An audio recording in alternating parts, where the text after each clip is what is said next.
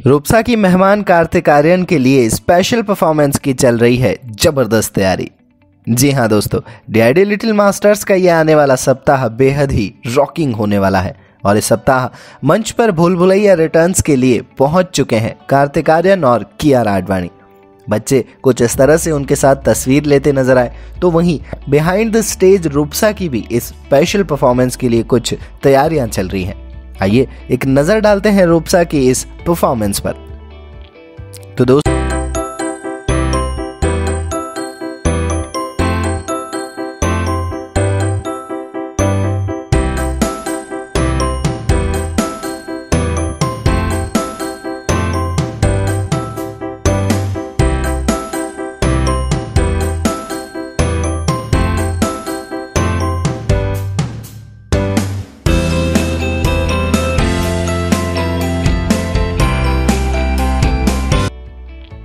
तो दोस्तों, वैसे आपको डी लिटिल मास्टर्स के मंच पर रूपसा की परफॉर्मेंस कैसी लगती है?